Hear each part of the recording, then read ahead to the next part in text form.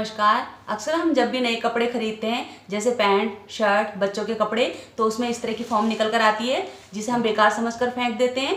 तो आज मैं आपके साथ जो वीडियो शेयर करूँगी, उसे देखने के बाद, आज के बाद आप कभी भी इस फॉर्म को फेंकेंगे नहीं, क्योंकि इस फॉर्म के हम कई बढ़िया बढ़िया से यूज़ कर सकते हैं, जिसमें से एक यूज़ मैं आपके साथ आज शेयर करूँगी। तो चलिए आज की वीडियो शुरू करते हैं। सबसे पहले हम फॉर्म की लंबाई और चौड़ाई नाप लेते हैं। तो लेंथ है इसकी ट्वेंटी इंच और विर्थ है इसकी इलेवन इंच तो इसी साइज़ का एक लाइनिंग का कपड़ा और एक मैन फैब्रिक हम ले लेंगे। ये देखिए, ये लाइनिंग का कपड़ा है, ये मैन फैब्रिक है। अब सबसे पहले हम लाइनिंग के कपड़े को रखेंगे, फिर हम फॉर्म सीट रखेंगे इस तरह से सेंटर में। इसके बाद हम मैन फैब्रिक रखेंगे। अब सबसे पहले हम इसके चारों तरफ़, किनारे किनारे पे सिलाई लगाकर तीनों पीस इसको जोड़ लेंगे। फिर हम इसके सेंटर में भी सीधी सिलाइयाँ लगा लेंगे। इस तरह से देखिए, हमने इस कपड़े पे इस तरह से सिलाइयाँ लगा ली हैं। देखिए। अब हम इसे सेंटर से फोल्ड करेंगे। इस तरीके से। अब सबसे पहले हम इस तरह से इंची टेप को रखेंगे। अंदर की तरफ़ हम वन एंड हाफ़ इंच भी निशान लगाएँगे। ये देखिए। अब हम यहाँ से फिर से इंची टेप रखेंगे नीचे की तरफ़। यहाँ पे भी हम वन एंड हाफ़ इंच भी निशान लगाएँगे। देखिए। अब इस निशान को हम इस तरह से सीधा खींच लेंगे और इसे इससे मिला लेंगे। ये देखिए, इसी तरह, अब इस साइड भी इंची टेप रखेंगे वन एंड हाफ़ इंच भी निशान लगाएँगे। यहाँ से नीचे की तरफ़ भी वन एंड हाफ़ इंच भी निशान लगाएँगे। इस निशान को इस तरह से नीचे खींचेंगे, इस तरह से, और यहाँ से इस निशान से इस तरह मिला लेंगे। ये देखिए, चारों तरफ़ हमने one and half inch by one and half inch के बॉक्सेस बना लिए हैं। अब इन बॉक्सेस को हम कट कर लेंगे।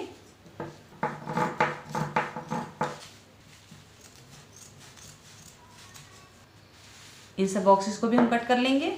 चारों बॉक्सेस हमने कट कर लिए हैं। अब हमें इसी साइज़ की एक चैन लेनी है। इसे नापेंगे। यह है एट इंच अब मैंने एक चैन ले ली है। ये देखिए, इसकी लेंथ है नाइन इंच वन इंच हमने एक्स्ट्रा लिया है, इसे हम बाद में कट कर लेंगे। अब देखिए रनर को निकाल देंगे। एक साइड रखेंगे। चैन का एक सिरा लेंगे। सीधी साइड नीचे की तरफ़ रखेंगे। इस तरह रखेंगे। और यहाँ से, यहाँ तक सीधी सिलाई लगा कर इसे जोड़ लेंगे। दूसरा सिरा लेंगे चैन का, इसकी सीधी साइड भी नीचे की तरफ़ रखेंगे। इस तरह रखेंगे इसे भी और इसे भी यहाँ से यहाँ तक सिलाई लगाकर जोड़ लेंगे। देखिए, यहाँ से यहाँ तक सिलाई लगाकर हमने चैन को इस तरफ़ जोड़ दिया है और यहाँ से यहाँ तक सिलाई लगाकर एक चैन का सिरा इस तरफ़ जोड़ दिया है। और देखिए एक्स्ट्रा चैन हमने एक ही साइड रखी है दोनों तरफ़। अब इसे, देखिए, कपड़े को नीचे की तरफ़ करेंगे, इस तरह। इस तरह से। अब हम किनारे किनारे पे यहाँ से यहाँ तक एक सिलाई लगा लेंगे। इसी तरह इस कपड़े को भी नीचे की तरफ़ करेंगे। इस तरह से। और किनारे किनारे पे यहाँ से यहाँ तक इसमें भी सिलाई लगा लेंगे। देखिए, यहाँ से यहाँ तक किनारे किनारे पे हमने यहाँ पे सिलाई लगा ली है। इस तरह किनारे किनारे पे यहाँ से यहाँ तक सिलाई लगा ली। ये देखिए, अब हम इसे सेंटर से फोल्ड करेंगे। इस तरह से, बराबर। अब देखिए, एक सिलाई हम यहाँ से यहाँ तक लगाएँगे। और एक सिलाई हम यहाँ से यहाँ तक लगाएँगे। देखिए, एक सिलाई हमने यहाँ से यहाँ तक लगाई है और एक सिलाई हमने यहाँ से यहाँ तक लगाई है। अब दोनों सिलाइयाँ मज़बूत भी हो जाएँ और साथ ही सिलाइयों में अच्छी सी फिनिशिंग भी आ जाए। इसके लिए हम एक काम और करेंगे, किसी भी कपड़े की एक पट्टी ले लेंगे। विर्थ है इसकी वन एंड हाफ़ इंच इस तरह से रखेंगे इसमें। इस तरह से एक्स्ट्रा पट्टी हम यहाँ से कट कर लेंगे। और पट्टी लेंगे, यहाँ पे भी रखेंगे। यहाँ से भी एक्स्ट्रा पट्टी कट कर लेंगे। अब एक सिलाई हम यहाँ से यहाँ तक लगाएँगे और इसी तरह एक सिलाई हम यहाँ से यहाँ तक लगाएँगे। देखिए, पट्टी पे हमने यहाँ से यहाँ तक सिलाई लगाई है और इस तरफ़ भी हमने यहाँ से यहाँ तक सिलाई लगाई है। अब इसे इस तरफ़ पलटेंगे।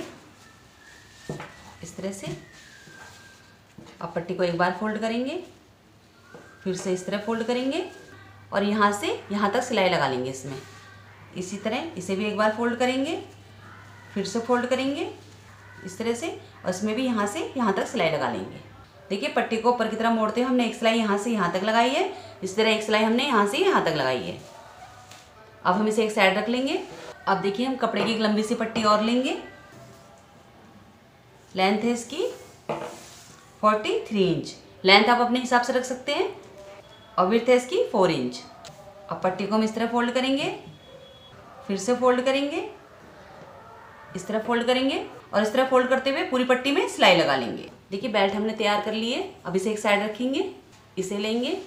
पहले इसे सीधा कर लेते हैं इस तरह।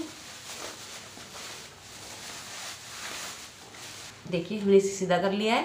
अब देखिए, इसे इस तरह पकड़ेंगे चैन को। इस तरह पकड़ेंगे। अब इसमें हम चैन का हुक लगाएँगे। कई लोगों को हुक लगाने में काफ़ी परेशानी आती है चैन में तो मैं इसका बहुत ही आसान तरीका आज आपको बताऊँगी। हम एक चैन का सिरा इस तरह पकड़ेंगे। इसे हल्का सा खोल लेंगे। देखिए, तैयार होती है ना? इस तरह से खींच लेंगे। इसीलिए मैंने एक इंच एक्स्ट्रा चैन रखी है। देखिए, इसे निकाल लेंगे। इसकी वायर हमने इस तरह निकाल दी है, एक साइड से। और फिर से इसे ऐसे पकड़ेंगे।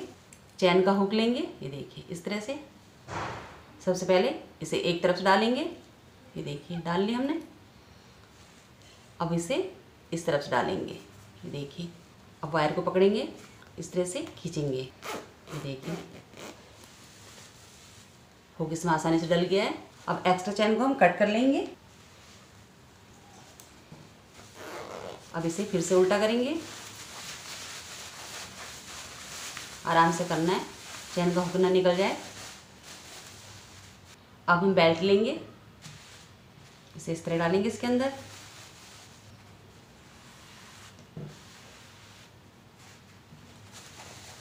देखिए इस तरह से एक सिरा लेंगे। इसको बिल्कुल सेंटर में रखेंगे चैन के। देखिए चैन और बेल्ट का सेंटर बिल्कुल एक साथ होना चाहिए। ये देखिए, इस तरह से, इस कॉर्नर को पकड़ेंगे, इस तरह से, देखिए इस तरह से, और एक सिलाई हम यहाँ से, यहाँ तक लगा लेंगे। देखिए हमने एक सिलाई यहाँ से, यहाँ तक लगाकर बेल्ट को भी इसमें जोड़ लिया है। अब हम बेल्ट को इस तरह सीधा करेंगे यहाँ से, बिल्कुल सीधा, इस तरह से, इसे पकड़ेंगे। बाकी बेल्ट को हम इसके अंदर डाल देंगे, इसे इस तरह पकड़े रहेंगे। अब हम इसे यहाँ पे रखेंगे। इसके सेंटर में देखिए जो सिलाई है, इसके सेंटर में इस तरह रखेंगे। इसके सेंटर में फिर इस चैन को रखेंगे। इस तरीके से देखिए। अब एक सिलाई हम यहाँ से यहाँ तक लगा लेंगे। देखिए यहाँ से यहाँ तक सिलाई लगाकर हमने बेल्ट का दूसरा सिरा भी इसमें जोड़ दिया है। देखिए दोनों साइड से। अब हम इस तरफ़ आएँगे। इस कॉर्नर को पकड़ेंगे इस तरीके से। और इसमें भी एक सिलाई यहाँ से यहाँ तक लगा लेंगे। इसी तरह इस कॉर्नर को पकड़ेंगे। इस तरह। और इसमें भी एक सिलाई यहाँ से यहाँ तक लगा लेंगे। देखिए, चारों कॉर्नर हमने जोड़ लिए हैं। ये देखिए ये देखिए। अब इस रखेंगे। अब देखिए, कपड़े की एक छोटी सी पट्टी हम और लेंगे। इसे इस तरह फोल्ड करेंगे। देखिए, इस तरह से। इसे इस तरह रखेंगे। देखिए, इस तरह रखेंगे। और यहाँ से इस कपड़े को भी फोल्ड कर लेंगे। इस तरह से। अब एक सिलाई हम यहाँ से यहाँ तक लगा लेंगे। देखिए, पट्टी को हमने सिलाई से यहाँ से यहाँ तक जोड़ दिया है।